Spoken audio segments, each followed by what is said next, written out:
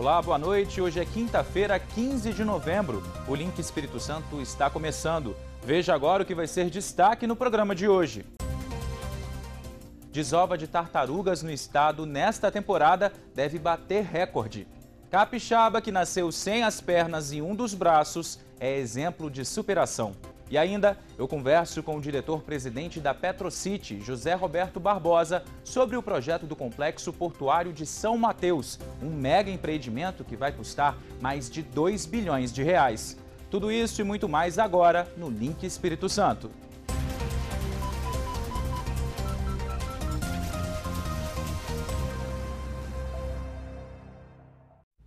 Mais uma vez, boa noite para você que nos acompanha. A temporada de desova das tartarugas começou em setembro e vai até março do ano que vem. E a expectativa é que o número de ninhos aqui no Espírito Santo seja recorde. A reportagem é do Rodrigo Chireda. Das sete espécies de tartarugas marinhas existentes no mundo, cinco fazem seus ninhos na costa brasileira. O litoral do Espírito Santo, segundo o projeto Tamar, é rota para a desova de três espécies: a tartaruga cabeçuda, a tartaruga de couro e a tartaruga verde. O tempo entre a fêmea depositar os ovos e o nascimento dos filhotes é de até 60 dias. Das areias do litoral capixaba nascem novas vidas marinhas todos os anos. A temporada de desova das tartarugas começa em setembro e vai até março. No período mais quente, esse número se intensifica. O projeto Tamar já identificou um aumento de 80% no número de ninhos. A expectativa é que esse número seja ainda maior em relação ao ano passado. A equipe Tamar está muito feliz com esse aumento gradativo que teve comparado à temporada passada, né? Ao mesmo período do ano passado, tem um aumento de 80% no número de desovas. A gente está muito feliz com esse número, né? Muito importante para a recuperação da população das tartarugas marinhas no Brasil. Só que ainda é um pouquinho cedo para a gente estar tá falando em recorde, mas a expectativa é bem alta para essa temporada aí. Aqui no Espírito Santo, nossa maior índice de população das tartarugas marinhas é da tartaruga cabeçuda, né? A mais comum, a mais abundante desovando aqui no nosso estado. Mas também podemos ter desovas de tartarugas de couro, que é a, única, é a maior espécie que existe no mundo, né? O, o, principal sítio reprodutivo no Brasil é no, nosso, no, no, norte do nosso estado, aqui no Espírito Santo, principalmente próximo à foz do Rio Doce. Mas também temos desovas de tartaruga oliva e de tartaruga de pente, também aqui no nosso estado. O projeto Tamar atua há quase 40 anos, ajudando na conservação das espécies de tartaruga. Tem mais de 30 anos que a gente está aqui no Espírito Santo, na verdade ao longo do Brasil todo, fazendo proteção das desovas e das fêmeas em idades reprodutivas, meio como juvenis. Temos monitores, executores, né, que trabalham nessas áreas praticamente 24 horas, né, nas praias, no período noturno, fazendo flagrante dessas fêmeas, fazendo a proteção dos ninhos e garantindo assim o sucesso né, e o nascimento dos filhotes. O biólogo do Tamar orienta que a população não se aproxime dos ninhos e dá outras orientações. Não mexer no ninho, né? Você não colocar cadeiras de praia próximo àquele ninho, não furar o cercado, não atravessar aquilo, não pisotear em cima do ninho, não colocar guarda-sóis e tudo mais. E tá sempre avisando o monitor, um técnico da praia, ou até propriamente o Tamar, para isso. E em caso de fazer um flagrante, né? Você está rodando na praia, igual aconteceu aqui, você vê uma tartaruga marinha subindo, você deixar ela no tempo dela, ficar um pouco afastado, porque você pode acabar afugentando essa fêmea e ela não fazer o processo reprodutivo corretamente. Então ela vai embora sem estar deixando os ovos na praia. Enfrentar as limitações do corpo e transformar a vida por meio do esporte. Essa é a história do Cassie Jones, um jovem capixaba que é exemplo de coragem e superação. Quem está descendo de skate essa ladeira junto com os amigos é o Cassie um jovem de 20 anos que nasceu sem as pernas e sem um dos braços. Com seis meses de gestação, já foi diagnosticado um problema. Quando eu nasci, viu que eu tinha os membros cortados, e mais depois fui diagnosticado com talidomida. Aos 15 anos, as limitações por conta da deficiência o fizeram entrar em depressão. Eu sempre fui uma pessoa bem feliz com tudo, mas comecei a perceber que eu era diferente, eu não queria me aceitar. Poxa, por que eu tenho que ser assim? Daí foi nesse pensamento, comecei a entrar em depressão, comecei a ter problemas comigo mesmo. E foi no esporte que ele resolveu combater a depressão e desafiar as limitações. Eu jogava bola antes, andava de moto, garupa e entre outras coisas. E daí conheci o skate também, que me ajudou bastante nessa caminhada.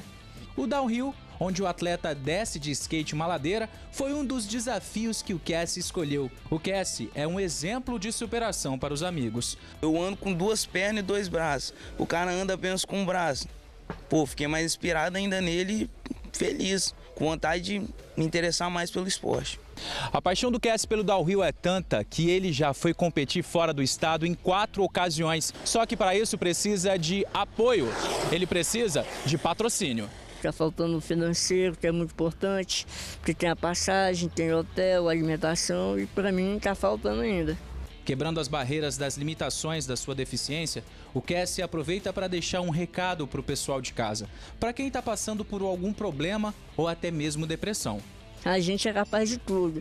O impossível era impossível até você conseguir fazer ele. É, ter uma vaga naquela faculdade, estudo, estuda, corre atrás, ter algo, isso e aquilo, cara, você é capaz, só ir e vai. Determinação, foco, não ter erro. Esse é o caminho.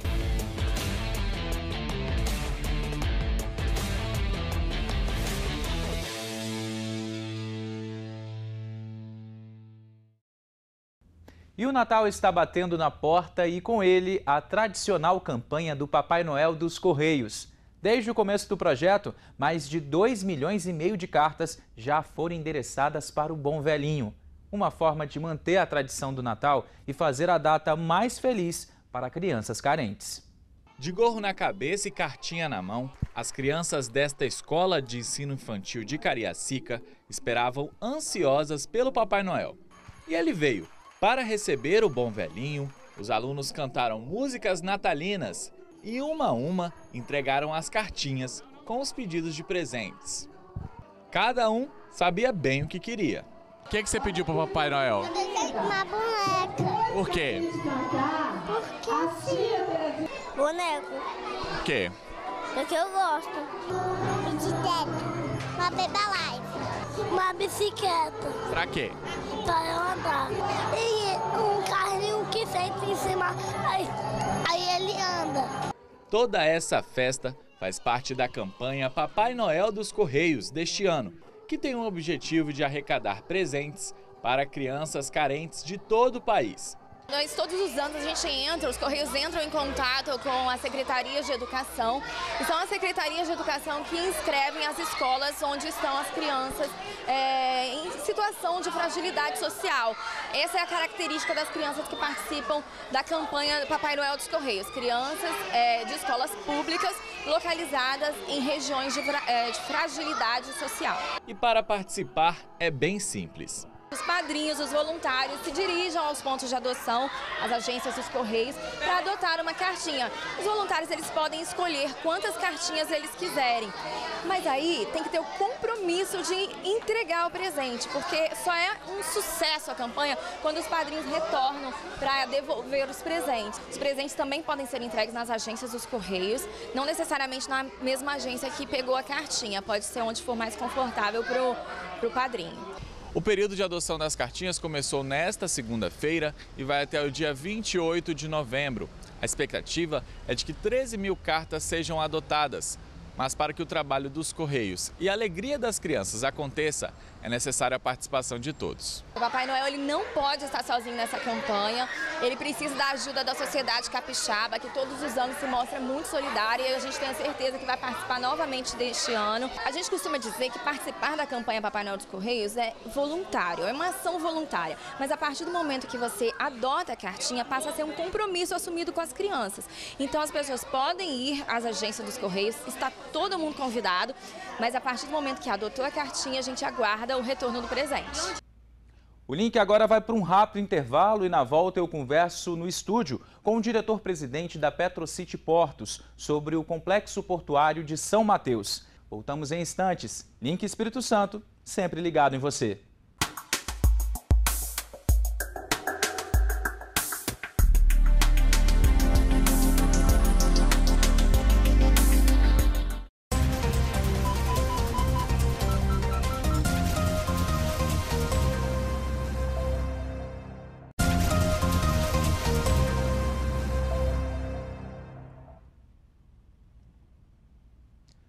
Link Espírito Santo está de volta e agora eu recebo no estúdio o diretor-presidente da Petrocity, José Roberto Barbosa. Boa noite, Zé Roberto. Boa noite, Vitor. Prazer receber você aqui. Obrigado. Bom, em São Mateus, São Mateus está se preparando, o norte do estado, para receber um megaporto de multicargas, que é o Complexo Portuário de São Mateus. Está recebendo já esse nome né, de megaporto e tudo mais, porque é uma obra é, é, bastante interessante. Logo no início do projeto, né, tava aí, o, a ideia era de óleo, terminal de óleo e gás. Só que esse projeto foi reestruturado e aumentou. Explica para a gente um pouquinho. Afinal de contas, o Complexo Portuário de São Mateus, mega portuário, o que, que envolve aí? É, ô Vitor, quando idealizamos o Porto, nós estávamos no momento em que é, vários projetos é, idealizados pelo governo federal estavam sendo anunciados no mercado e realmente existia uma projeção de crescimento muito grande dessa atividade. É, então nós idealizamos, um, fizemos um estudo, idealizando o atendimento né, a essa atividade, quer dizer, dar, daríamos todo o suporte à atividade de exploração de petróleo e gás.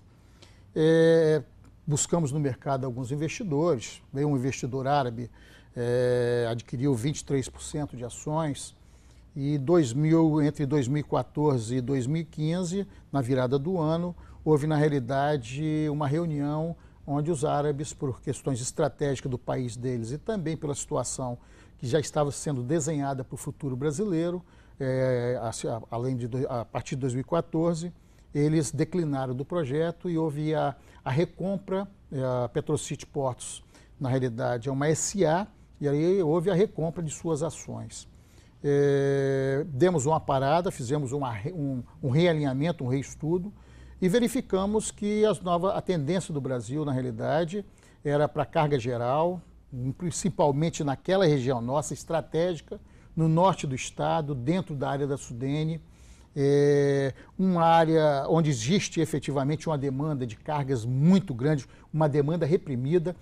Zé Roberto, depois de um diagnóstico, o Complexo Portuário de São Mateus ampliou a sua capacidade, né? É, nos anos de, de 80, quando foi feito o projeto da Rede Somar, uhum. é, e a repotencialização da Rede Somar, no sentido da aquisição da capacidade ociosa das indústrias, eu verifiquei em toda essa região de abrangência do porto do Petrocity, que é o CPSM, Complexo Portuário de São Mateus. E verificamos que as indústrias estão tendo, na realidade, um grave prejuízo pela segurança da, da movimentação de cargas. Ou seja, se ela tem capacidade para produzir X, ela está produzindo somente a metade, porque ela não tem segurança de que, produzindo full, uhum. ela terá condição de fazer essa movimentação. Com isso, quando você reduz para 50% a capacidade, você também está reduzindo 50% a capacidade de geração de emprego, Exatamente. de distribuição de rendas. Então, nós verificamos isso e verificamos que cargas containerizadas, óleo e gás ainda, nós só reduzimos a área, mas vamos continuar com atendimento, é, rochas ornamentais, que coração é no norte do estado.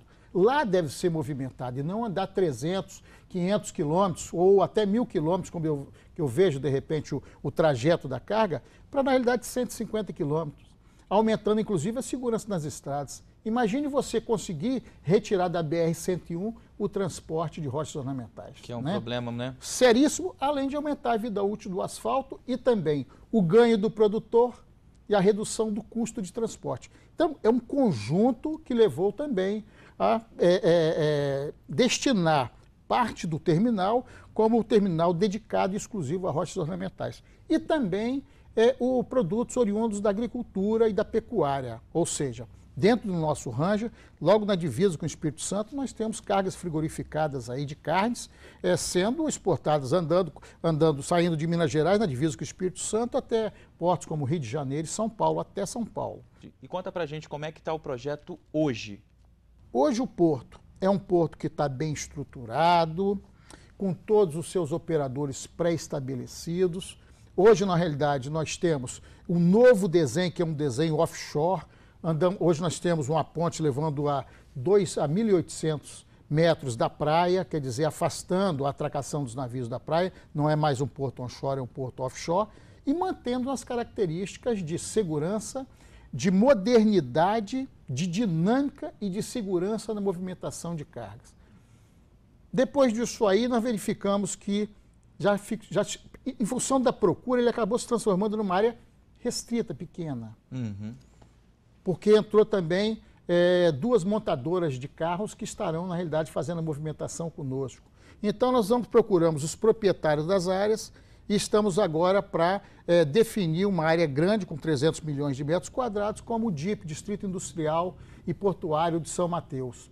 Depois de ter sido lançado o DIP, acabamos sendo procurado por um grande investidor internacional que pediu que fosse feito um estudo para a implantação de uma ferrovia no norte, uma ferrovia moderna, com bitola de 1,60m, é, com locomotivas com redução, é, com, com, com, elétricas, é, com vagões de dimensões maiores, com a velocidade maior, com traçado muito favorável, interligando até Sete Lagoas. Esse estudo preliminar e conceitual foi feito, apresentado ao governo federal e agora nós estamos avançando no detalhamento deles, porque nós verificamos que a viabilidade do projeto, a viabilidade econômica financeira, ela é muito grande e efetivamente, apesar do porto não, não necessitar de ter uma ferrovia para que a gente garanta o cronograma, o seu payback de oito anos, nós também tá, estaremos levando, na realidade, uma condição de operação de cargas a, a Grande Belo Horizonte, ao Estado de Minas Gerais, brigando e levando o conceito que vem sendo falado hoje a nível de Brasil, a nível de modernidade, que é a interiorização da economia, a integração regional e, acima de tudo, a ocupação das capacidades ociosas das empresas visando a geração de empregos. Pois é, antes da gente falar um pouquinho da geração de emprego, vocês viram aí de casa que é uma, um projeto muito abrangente, não é só a questão do porto ali, mas é, é muito grande de ferrovia, envolve várias coisas aí. Eu queria saber como é que está a situação do cronograma. Datas, quando é que começam as obras, quando é que deve começar a funcionar e também questão é, licenças, já está tudo certo, como é que está aí, José? É, nós tivemos a, o nosso cronograma, inicialmente foi prejudicado, que era 2016, a partir de 2013, 2016. Nós é, tivemos que suspender o projeto por um período, como já informei, e nós fizemos a retomada dele em 2017. É, fizemos aí, recebemos o termo de referência do Instituto Estadual de Meio Ambiente, EMA, é, um TR robusto, muito robusto, destinado a estudos é, no momento da, da, da, para a LP, LI, LO até a operação. Fizemos um estudo consubstancial, um estudo está lindo, superior a 4.500 laudas, entre tudo aquilo que foi indicado no TR e o que nós fizemos além, uhum. em função da preocupação, porque, acima de tudo, nosso, processo, nosso projeto procura ser um projeto sustentável, que gera emprego, que, é, que leve o menor impacto Logicamente que todo projeto tem impacto, uhum. mas esse impacto nós estamos idealizando será o mínimo efetivamente para aquela região e o impacto esperamos que seja muito no sentido de levar soluções sociais e ambientais. É, e dentro dessa linha, em parceria com a Odebrecht Engenharia, com a Etalp Engenharia, com a UPE, com a, a é, SRA, nós conseguimos elaborar uns estudos minuciosos, consubstanciados, que com certeza nos levará a receber ainda em 2019 a autorização para que a gente possa estar na realidade iniciando as obras.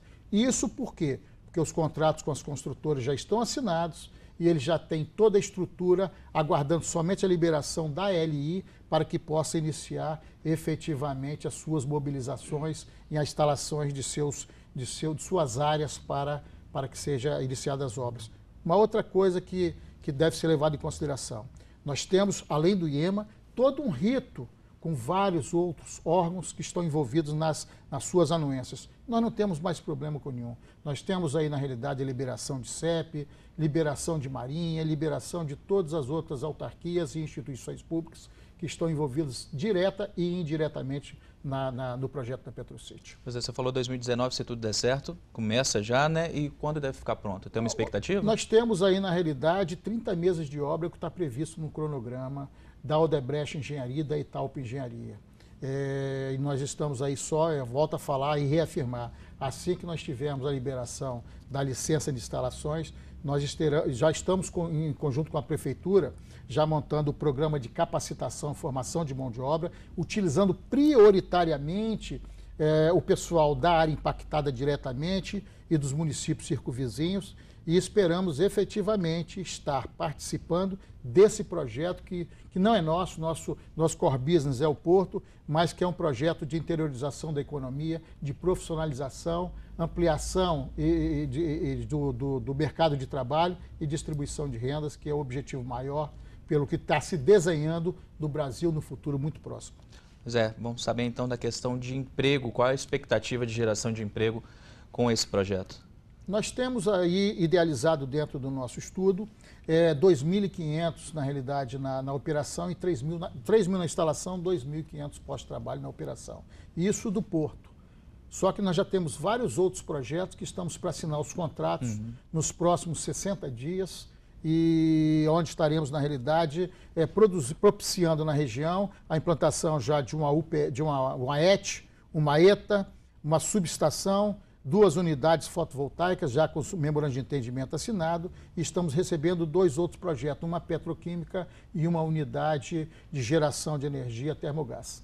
Sem contar os empregos indiretos que, Sem, não, que isso vai acabar estou, gerando, não né? colocando na, é, é na só quantidade, só o Porto, não nessas outras nessas outras unidades de negócio que estão aí, é, esperamos, se avizinhando, até porque a liberação das licenças dessas demais unidades de negócio é uma liberação de um licenciamento municipal e os projetos de engenharia eu acredito que, que devo protocolizar na prefeitura até, o, até meados de dezembro.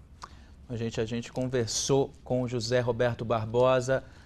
Zé Roberto, o espaço do link está sempre à disposição. Muito obrigado pela sua presença, tá bom? Tá, nós é que agradecemos o, a oportunidade de estar levando e apresentando ao Estado do Espírito Santo, na realidade, né, é, é, esse projeto que entendemos ser um divisor de água para o norte do Estado do Espírito Santo.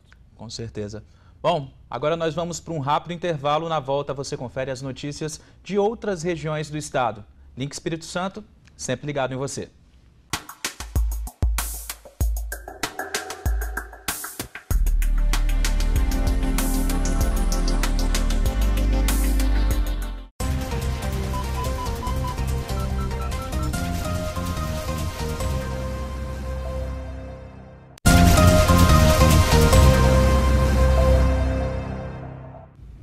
Link Espírito Santo de volta e agora você confere as notícias nas outras regiões do estado nesta quinta-feira.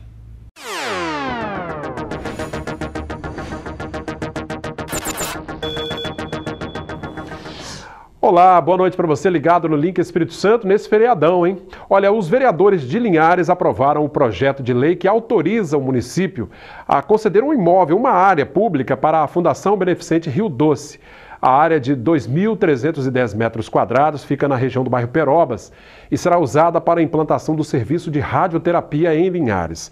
A ideia é beneficiar pacientes com câncer de 13 municípios da nossa região que precisam fazer tratamento contra a doença e acabam tendo que enfrentar horas de viagem até a capital Vitória. E um artista ganha vida nas ruas pintando paisagens sobre placas de cerâmica. O talento do paranaense João você vê agora na reportagem. É assim, na calçada de uma rua no centro de Linhares, que este paranaense talentoso coloca toda a sua arte em prática. O João já percorreu várias cidades do país e depois de passar por Colatina está em Linhares. Isso aqui eu aprendi com meu falecido pai, né? Daí do, do meu pai para mim, de mim para meu filho. E eu viajo, rodo o Brasil aí mostrando minha arte. Agora eu tô no, fazendo Espírito Santo, né? Que eu já fiz Bahia, Minas Gerais, agora estou fazendo Espírito. segunda cidade que você passa no Espírito Santo? Segunda cidade, graças a Deus. As peças de cerâmica em vários tamanhos são a tela que ele precisa para imprimir todo o seu talento. Após a pintura, vem o acabamento em verniz, que além de proteger, dá brilho à obra. Mas de onde vem toda essa inspiração para pintar tanta coisa bonita? Viagem que a gente faz aí, né? Fica na lembrança. Fica na lembrança que tem muita fazenda, assim, aquelas fazendas com curral, é, casa de alpendre, é mais inspiração de Minas Gerais, né? E vai indo as inspirações dos litoral também, que é o Pinto Praia. E aí nós vamos criando, né? Quem passa pela rua logo se encanta e dá uma paradinha para apreciar o trabalho do João. E não há quem não elogie. Muito bem bolado, muito inteligente, um artista plástico de primeira. Gostei muito. Parabéns para ele, viu? Muita riqueza de detalhes. Né? Nossa senhora, muita mesmo. Muita inteligência, viu? Muita prática mesmo, muito bom. Gostei. Show mais interessante aí. É que ele faz na cerâmica, né? As coisas certinho aí no dedo. Fica muito bonito. Sai rapidinho o quadro ali, ó. Sai. É, ágil. Muito talentoso ele, viu? Tá de parabéns. Ó. Cerâmica, né? Fiquei admirada. Os preços cobrados pelo João variam de acordo com o tamanho das peças. As menores são vendidas três delas por 20 reais. As maiores, cada uma, também saem pelo mesmo valor. Bom, eu converso nos estúdios do Grupo Sim aqui em Linhares hoje com o médico urologista, Dr. Guilherme Campelo, faz parte da equipe do Hospital Rio Doce, sobretudo com os oncologistas lá, que tem feito um trabalho importante com relação ao câncer de próstata. Estamos em pleno novembro azul, um momento assim de conscientização sobre a importância do diagnóstico precoce. Doutor Guilherme, tudo bem? Tudo bom. Doutor Guilherme, é, o número de casos é, é cada vez maior no, no, Brasil, né, de novos casos de câncer de próstata. Importante é o diagnóstico o quanto antes possível, né? Isso, o, o importante é o diagnóstico precoce. Esse paciente que vai ter chance de ter cura na cirurgia, na cirurgia ou na radioterapia. O paciente que descobre já o tumor mais avançado, esse paciente, infelizmente, o tratamento curativo para ele é bem mais difícil. Pois é, aqui na região norte, o Hospital Rio Doce, através do Serviço de Oncologia, é referência é, nesses tratamentos. Né? Como é que tem sido esse trabalho lá? Isso, o nosso hospital lá, eu, eu, faço parte da equipe do Hospital Rio Doce, a gente é referência da oncologia do norte do estado. Uhum. E aí a gente tem a nossa equipe, recebe pacientes encaminhados do, do norte, e na questão da urologia, o nosso volume é até bem grande e a gente vem fazendo tratamentos, né? Cirurgias, é, quimioterapias, só a radioterapia que ainda a gente está complementando, ainda não, não tem no hospital, mas em breve a gente vai ter. É, tá... tá todo mundo na torcida para completar e evitar até essas viagens longas para Vitória também, né, em alguns casos. Né? É, evitar. Muito paciente que, que é uma das coisas que às vezes até acaba dificultando a aderência do tratamento é essa questão da viagem, uhum. de ter que ir à Vitória. Isso é muito cansativo, dependendo do paciente. Tem paciente que vem lá do, de montanha, é, de Pinheiros. No extremo e, norte. É, e ter que vir até Vitória para eles é bem longe. Bom, chegando em Linhares está pelo menos no meio do caminho, né? É, não, está bem mais perto. Doutor Guilherme, agora o câncer de, de próstata, né? A gente diz que o número de casos é cada vez maior, mas parece que os homens eh, têm melhorado, eles têm procurado tem, né, tem, o tratamento. Tem aumentado o diagnóstico, né? Isso é por conta, com certeza, do, da melhor procura mas ainda falta muito, assim, em torno de 20%, mais ou menos, 20, 25% dos pacientes, quando tem diagnóstico, já é um diagnóstico Bem tardio. avançado, né? Isso aí é por falta mesmo de fazer o exame.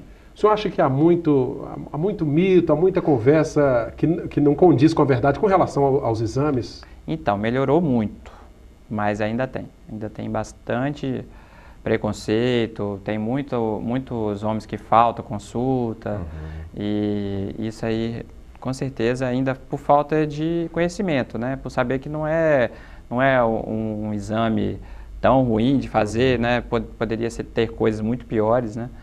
E é uma chance que ele tem de descobrir uma doença, né? Que pode ser altamente mortal, mas descobrindo cedo, altamente curável.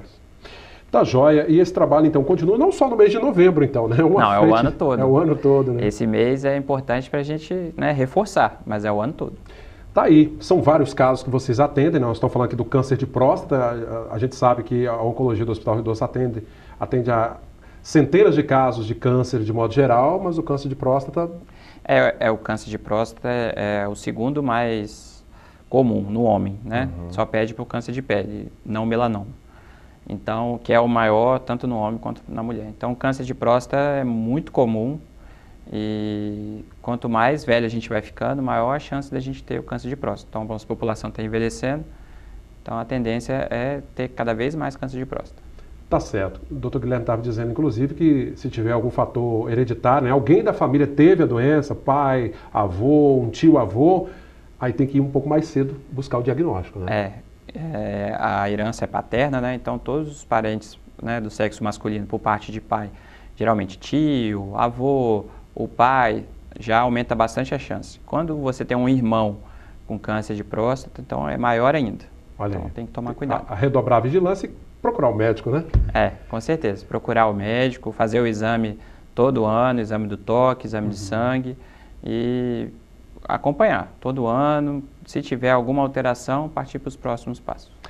Bacana esse bate-papo com o Dr. Guilherme Campelo, médico urologista, faz parte da equipe ali do Hospital Rio Doce, né, da equipe de oncologia. A gente falando hoje sobre o Novembro Azul e o câncer de próstata. Os homens aí vão deixar o preconceito de lado e vão procurar fazer o, o diagnóstico, o tratamento. Doutor Guilherme, obrigado pela presença, viu? Obrigado, hein? Obrigado pela de... oportunidade. Tá jóia, prazer. De Linhares, nós seguimos para Colatina com outros destaques do Norte Capixaba.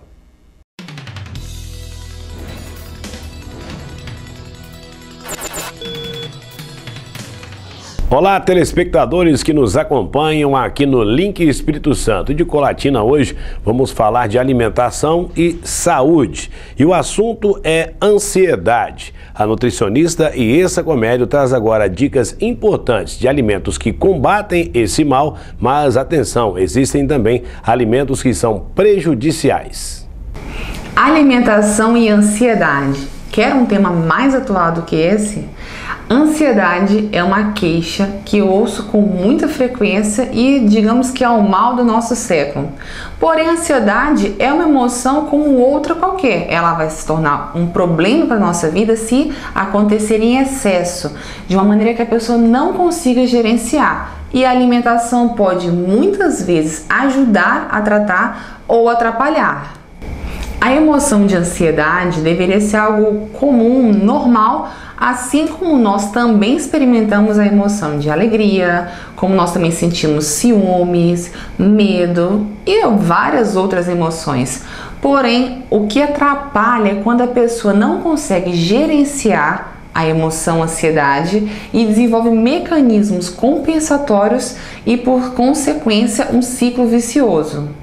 E é nesse ponto que muitas vezes a alimentação acaba atrapalhando não a alimentação em si, mas o comportamento de compensar a ansiedade com a alimentação.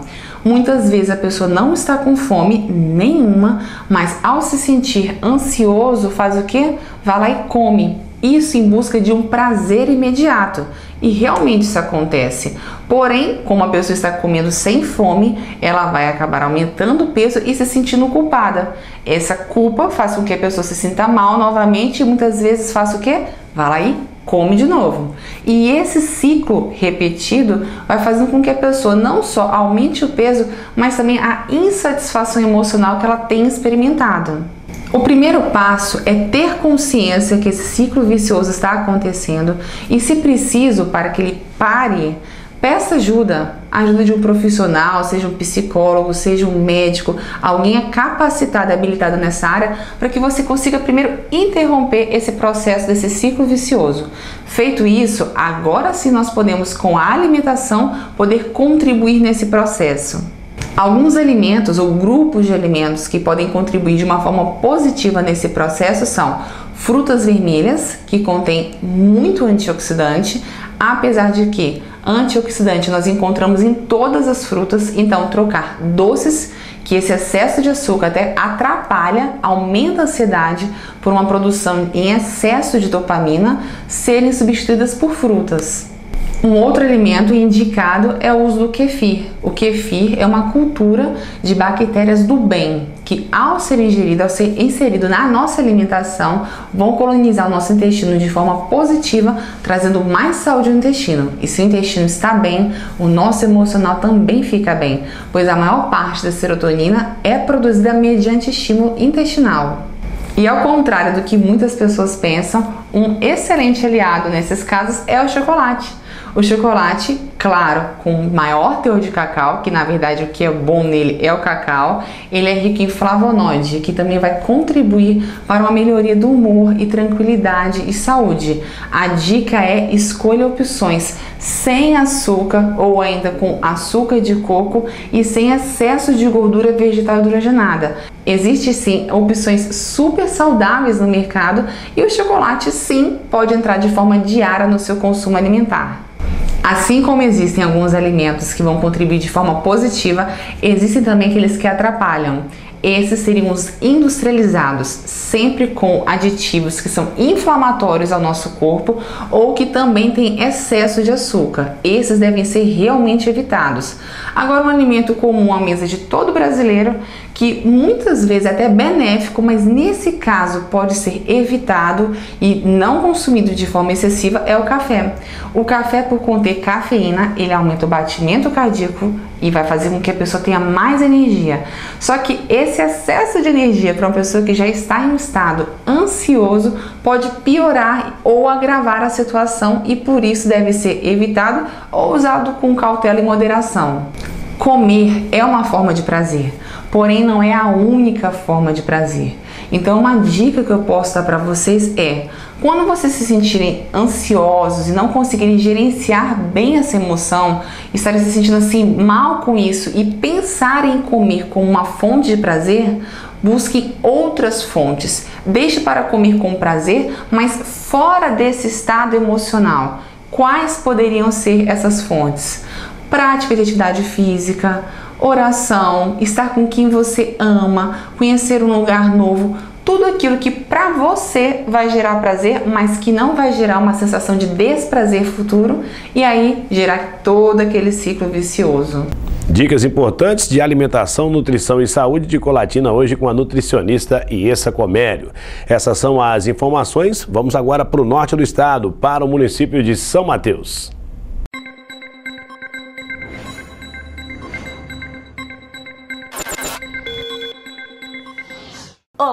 Nos destaques de São Mateus e região do Link Espírito Santo, o consumo da água de coco verde no Brasil é crescente e significativo. A demanda é suprida pelo comércio do fruto e principalmente pela extração e envasamento da água, o que envolve pequenas, médias e grandes empresas. Fernando tem 125 hectares de terra situada no quilômetro 30, zona rural de São Mateus. Ao todo, são 26 mil pés de coco. Segundo ele, foi preciso contratar mais funcionários neste ano. Mesmo assim, o produtor ainda reclama do preço, que está abaixo da média. Hoje, se a gente pegar aqui no norte do Espírito Santo, sul da Bahia, a gente vai achar uma variação aí entre 50 a 60 centavos. Talvez algum cliente especial aí um pouco mais, mas está em torno disso aí. 50 a 60 centavos o fruto de primeira.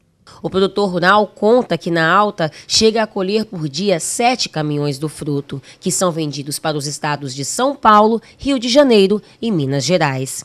A produção da fruta gira em torno de 200 frutos por planta na lavoura a cada ano. O termômetro de Fernando é o clima no mercado consumidor. Se nos centros que consomem o fruto estiver muito calor, é sinal de preço bom. Se começar a chover e esfriar, o preço do coco cai, além de reduzir em mais de 50% a exportação. A gente está no pico da safra agora, né, que vai aí para a região aqui em torno de agosto a janeiro.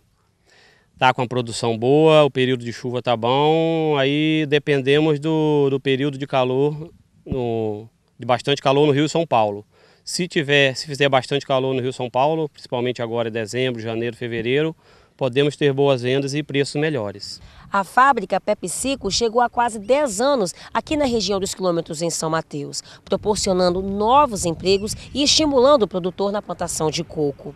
Mas em setembro deste ano, a fábrica encerrou as suas atividades. Essa fábrica trabalhou aqui na região em torno de 9 a 10 anos. Enquanto ela esteve trabalhando, foi muito bom, sempre foi uma parceira, é, tira, escoava bastante produção, ajudava repente, na manutenção dos custos da, da, lavoura né, e com isso tirava muito produto do mercado, então também melhorava o preço de mercado. É, com a saída dela, com certeza não foi bom, está sendo, está sendo ruim para toda a região. Há 15 anos no mercado, Fernando afirma que os últimos meses foram os mais difíceis. Dentro desses 15 anos que eu venho trabalhando com a cultura, os últimos 12 meses eu considero que foram os piores 12 meses que eu já trabalhei com a cultura, de, de piores preços. E termina neste sábado a campanha Eficiência Solidária da EDP Excelsa. A campanha Eficiência Solidária está todo vapor. Agora eu trouxe cinco, até ficou algumas lá. Estou trocando aos, aos poucos, né? De acordo que vai queimando, as, vão queimando as lâmpadas, eu vou trocando, né? Colocando a LED, porque eu estou percebendo que com a, a, a lâmpada LED está diminuindo a conta. A expectativa é que até o fechamento no dia 17, centenas de usuários sejam atendidos. O posto para trocas está situado aqui no Centro de Vivência Amélia Boroto e o horário de atendimento é de segunda a sexta, de 9 da manhã às 5 da tarde e aos sábados, de 9 da manhã até 1 da tarde. Esses foram os destaques de São Mateus e região. Vamos agora a Aracruz.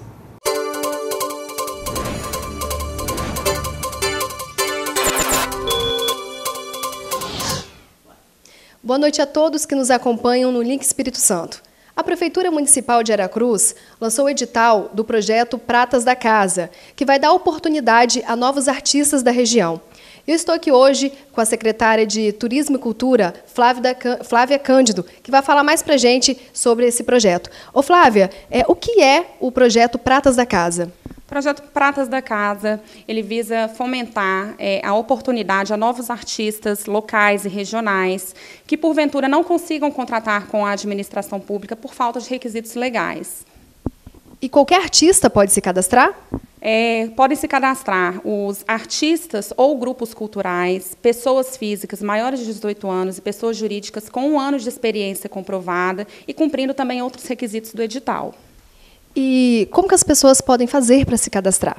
O cadastramento acontece aqui na Secretaria de Turismo e Cultura, por meio de protocolo, é, conforme previsão que está lá no edital, que pode ser acessado no, no site da Prefeitura, www.aracruz.es.gov.br, cumprindo assim todos os requisitos do edital de documentação, será analisado por comissão interna própria e será criado esse banco de dados para a gente promover todos os eventos do município, que também promove o artista, né, que é o principal intuito aqui né, do projeto, e também é, abaixa o custo dos nossos eventos e acaba movimentando também a nossa agenda de eventos, nosso calendário de eventos e fomenta a nossa economia local com turismo e cultura. Flávia, muito obrigada pela sua participação aqui no Link Espírito Santo. Muito obrigada, eu agradeço. Eu espero que, que os artistas venham, os grupos culturais venham se credenciar para a gente criar um, um, banco de dados farto e para que eles possam crescer com esse projeto e alçar aí novos voos e também promover o nome do município, não só no estado, mas também em todo o Brasil. Muito obrigada mais uma vez, Flávia. E agora vamos para Cachoeiro de Itapemirim com mais informações aqui no Link Espírito Santo.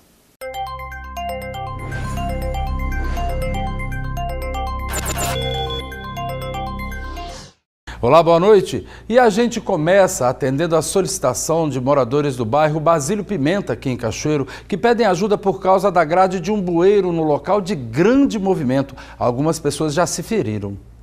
O bueiro é esse aí e está realmente oferecendo perigo. Ele fica na travessia Tomé Ferreira de Matos, no bairro Basílio Pimenta, na entrada dessa escadaria. E é por onde a Denise tem que passar todos os dias. Passo todo dia. E aí, é perigoso? É muito perigoso para as crianças, até para o idoso, né? E para a gente também, que tem problema no joelho, de repente, né? Utilizada por muita gente que quer cortar caminho até o bairro Guandu, a travessia Tomé Ferreira de Matos é muito antiga na cidade. A ferrugem já corroeu a grade e tá fácil causar um acidente. O Mauro tem um comércio perto, já ajudou a socorrer pessoas que ficaram com o pé preso na grade. Inclusive ontem, um garotinho do colégio ficou agarrado com o pé aí, ó. Eu precisei de pegar ferramenta para tirar ele daí. E antes disso, um, um rapaz também grandão caiu, o tênis dele ficou agarrado aí, ó. E pronto, dá uma fratura exposta aí, ó. Esse é o Moisés. Ele estava junto quando o amigo se machucou ao ficar com o pé preso na grade do bueiro. Ele caiu, ralou o joelho, o sapato dele caiu também, um, do, um dos dois eu acho.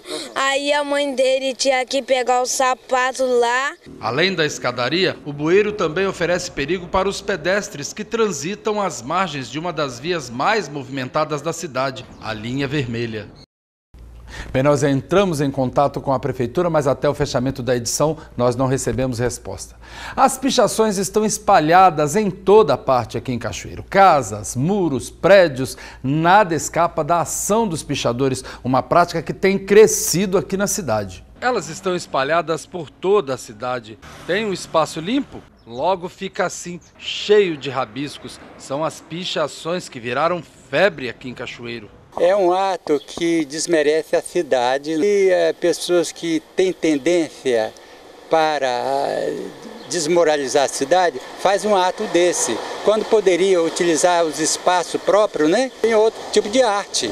Olha a situação no bairro Coronel Borges. Se já não bastasse a sujeira por conta dos rabiscos, agora eles são coloridos. A Elisandra tem um escritório e já perdeu as contas de quantas vezes já limpou ou pintou as paredes do local onde trabalha. A gente pinta, a gente tenta organizar, deixar tudo bonitinho, né, para que o nosso cliente, o público, tudo fica legal, a nossa cidade fica limpa, mas infelizmente não tem como. Todos vêm, vêm, pintam no outro dia, suja do mesmo jeito.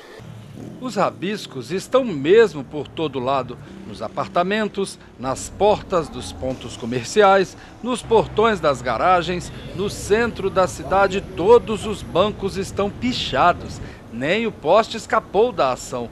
Na Câmara de Vereadores, nos muros das residências e, segundo o subsecretário de Segurança Altos Alves, a Justiça está de olho nesse tipo de ação. É, infelizmente, é, esse pessoal eles utilizam de artifício de vigiar o policiamento. Quando nós não estamos presentes, né, eles usam desse momento para praticar essa infração aí. Mas nós estamos de olho. Nós estamos tanto com a câmera né, de vídeo monitoramento, quanto as viaturas estão de olho nessa situação. É crime. Vou, só, vou dar um exemplo.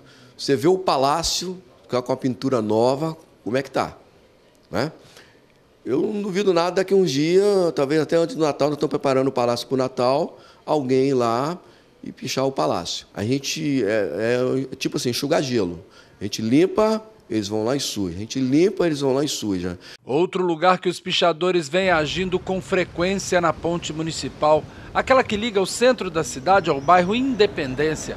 Nela, nada escapa da ação. Dona Angélica é moradora antiga e atravessa essa ponte várias vezes ao dia e está indignada com o que vê. Vandalismo puro, tá? Vandalismo puro. Isso é um vandalismo, rapaz. O ser humano hoje não tem coração, não. A pessoa que tem coração não faz isso, uma coisa dessa. Ninguém denuncia. É impossível que ninguém vê. Tanto a Polícia Militar quanto a Guarda Civil Municipal, a gente tem feito o preventivo diariamente e nós estamos cientes dessa situação. Uma vez pego em flagrante esse cidadão que está cometendo essa infração, ele pode ser conduzido à delegacia, poderá responder por crime de dano, tanto ao patrimônio público quanto ao patrimônio privado, bem como também ele pode sofrer uma sanção administrativa, que seja uma multa né, pela Prefeitura Municipal, e também ele pode até responder civilmente né, pelo dano causado, ter que arcar com as consequências desse prejuízo. E realmente é uma prática que enfeia a cidade. De Cachoeiro de Itapimirim, nós voltamos à vitória.